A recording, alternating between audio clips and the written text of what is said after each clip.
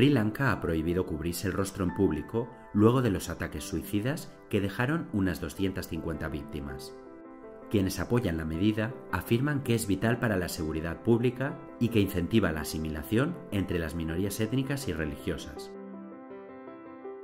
Pero el país asiático no es el único que ha prohibido el velo en lugares públicos.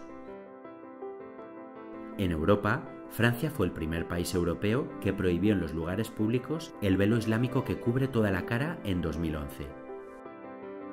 Medida que luego fue revertida por el Tribunal Europeo de Derechos Humanos en julio de 2014. Dinamarca impuso una ley que cualquiera que use una prenda que cubra la cara en público tendrá que pagar mil coronas danesas, unos 157 dólares americanos, en agosto de 2018 el Senado en los Países Bajos aprobó una ley en 2018 que prohibía ocultar la cara en edificios públicos como colegios y hospitales y en el transporte público, menos en las calles. En Alemania es ilegal cubrirse el rostro mientras se conduce. Una prohibición sobre todo este tipo de velos también entró en vigor en los espacios públicos y escuelas de Austria en 2017. En Bélgica empezó a aplicarse en 2011.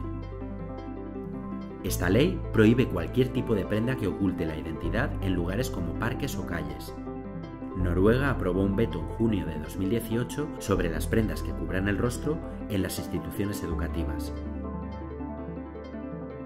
En Bulgaria se aprobó en 2016 una ley para multar y recortar beneficios a las mujeres que se tapen la cara en público. También en Luxemburgo hay algunas restricciones en ubicaciones específicas como hospitales, cortes y edificios públicos. En España, específicamente en la ciudad de Barcelona, se anunció en 2010 que se prohibirían las prendas que tapen el rostro en los espacios públicos como mercados o bibliotecas.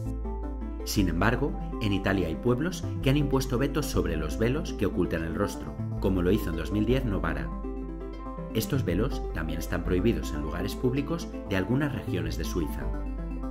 En África, tras múltiples atentados suicidas perpetrados por mujeres que usaban velos en la región, provocaron que estos se prohibieran en lugares públicos en Chad, Gabón, la región norte de Camerún, la región Difa de Níger y la República del Congo.